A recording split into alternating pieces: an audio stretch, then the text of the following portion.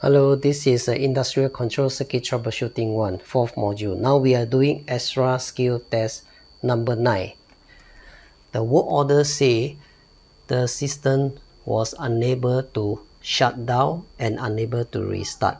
So what's the problem? Let's dive in. As usual, I usually try to check try to check visually the external device and the circuit to see whether I can find something wrong and that after that I will run the process and observe any anomaly from the process. So from what I see from here, there is no power supply to the lighting. Okay, that's why there's no lighting at the on the control panel. So maybe the EMO will press. Actually, the EMO is okay, or there's no power supply. There's no power supply to the fuse because the fuse is blown.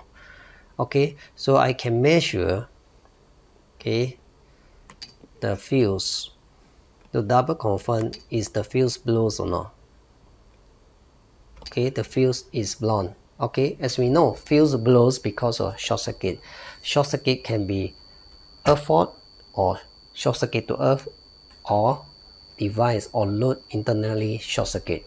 No matter what in order to check the fault we have to measure the resistance but resistance can never be measured live. So we have to cut off the main power supply and perform lockout tagout and verify the lockout tagout is done properly.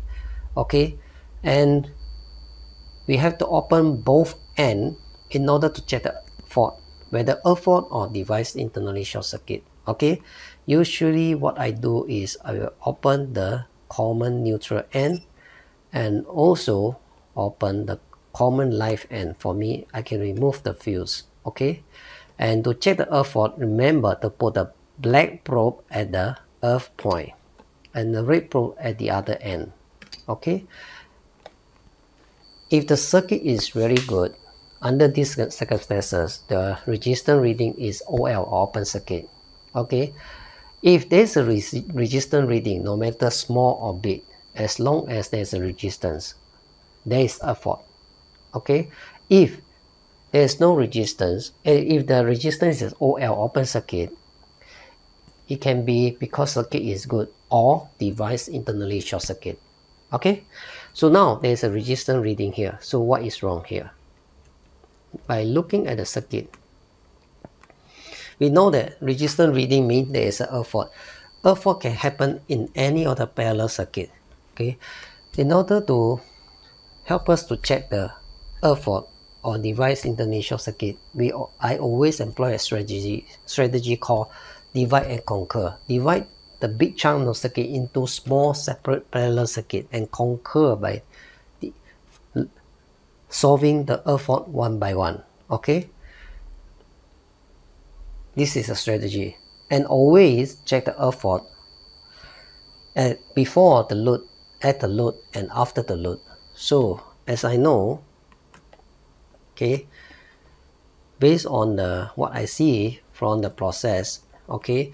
The current will branch out into two. When I say branch or divide it means parallel okay? You branch out parallelly to this path and another to this path. Because this path and this path do not have any open circuit right?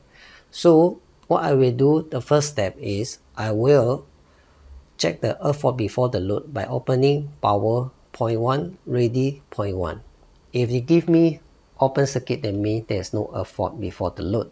Okay let's do it. Power 1 and ready 1 okay there's open circuit means there's okay. Okay now I will normalize the wiring connection and open power point 2 and ready point 2 to check the fault at the load if the resistance reading is OL open circuit, that means there is no fault before the load and at the load. If there's a resistance reading, meaning there is a fault, fault at the load. Okay, let's do it. Okay, normalize and open point 2, normalize, open point 2. Okay, open circuit. That means there's a there's no fault okay before the load and at the load but there's a fault after the load okay? So now the next step the third step is we have to connect one point only. For me i will connect point two okay? Then shift the red probe the multimeter to point 2 for easier troubleshooting. Of course this is a personal preference. You can leave the red probe at point 2 of the fuse if you want. There's nothing wrong no right or wrong okay? So I will connect back the point 2 and put the red probe at point 2 of power lighting. Okay there's still resistance reading. That means there's a fault. Okay now we repeat the troubleshooting step that we did just now. So simple. Divide the circuit. Use the strategy strategy of divide conquer. Divide the circuit into separate parallel circuit. Okay and then conquer it by checking the fault one by one okay the method is still the same checking the earth fault before the load at the load and after the load how do we know the parallel circuit? Very easy. We can assume the current flow flow from the multimeter to point 2 then to here. Or we can assume that the earth fault always happen after the parallel circuit. Example, at this parallel circuit, a current flow here, it will branch out into two paths. Then, after that combine, then it will short circuit to earth. So this is these two paths consider one parallel circuit. Okay, Let's say there's a earth fault happen at this point after the parallel circuit. So when the current flow from the multimeter through point 2 then to this path, it will branch out into four paths. One first path, second path, third path, fourth path. Why? Because current come here, branch out into two paths, then it will come to here, join with, join with the current from the third path and fourth path, then short, short circuit to earth. So this first path, second path, third path, and fourth path form a parallel circuit and so on. This is considered normal circuit because there is no other component to form a parallel circuit, right? No matter what, the concept of troubleshooting remains the same, okay?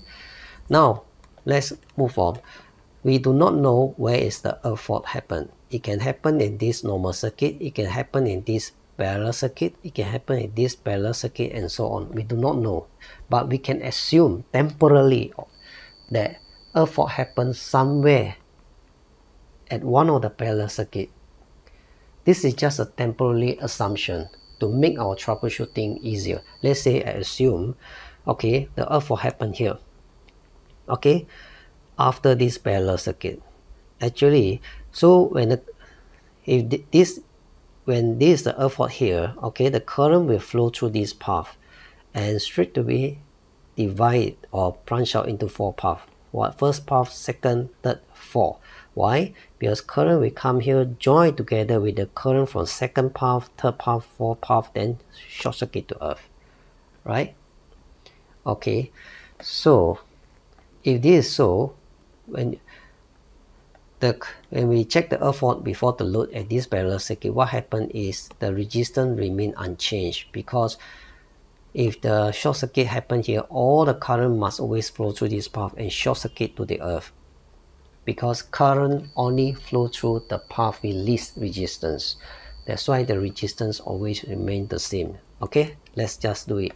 We start from this parallel circuit. Okay, R97 and Alarm2. R97 and alarm 2 okay? Register never change. It means it is okay.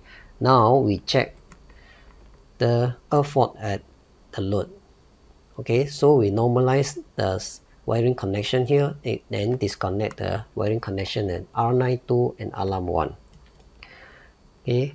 R9 2 and alarm 1 resistance still remain the same. So by doing so, I know that resistance remain the same. When I checking the earth fault before the load and at the load, of course, I can continue to check the earth fault after the load, but I don't think it's necessary because I know that if resistance remain unchanged, okay, before the load and at the load, it will be the, the same after the load. So I can save my time and and proceed to troubleshoot other parallel circuit. Okay? So now I'll proceed to R8 R1 R2 R3 R4 okay? I will normalize R9 and then alarm. Okay?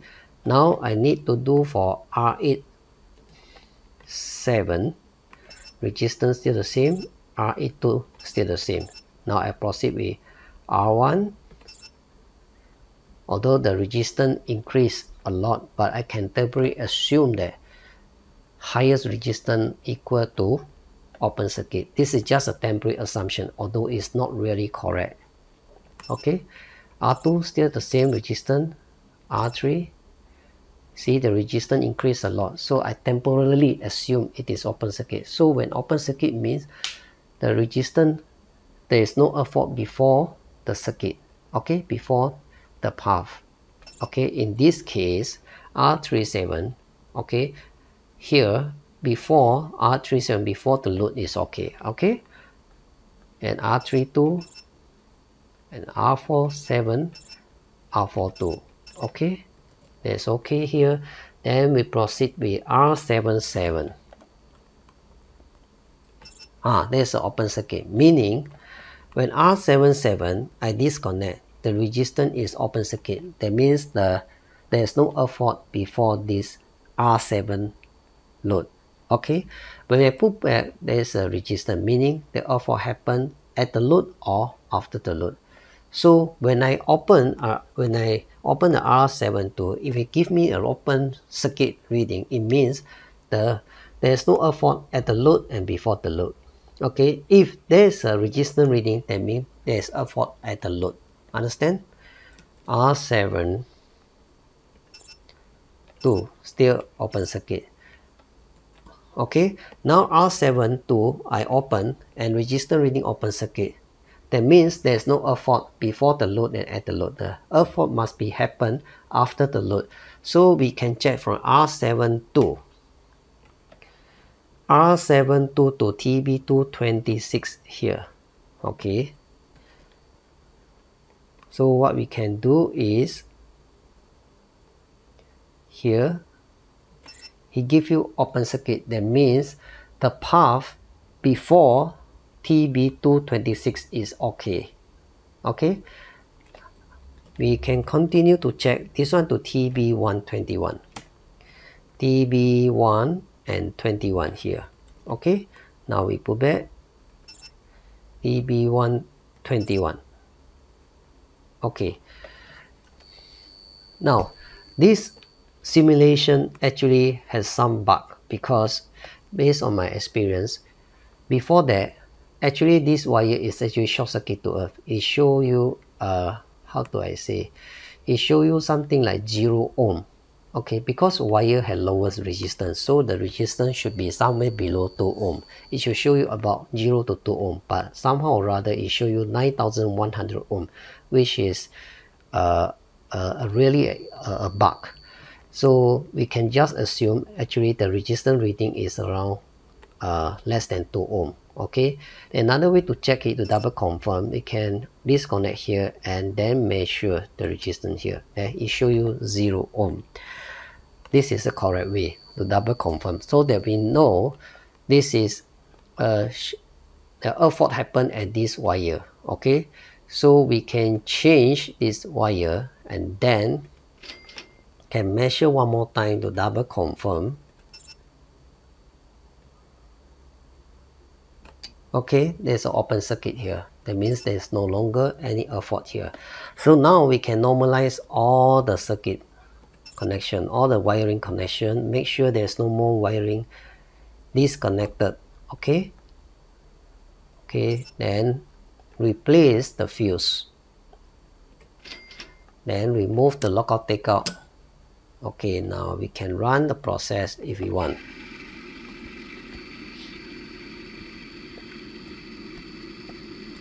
So the circuit is okay now because it's able to run as per normal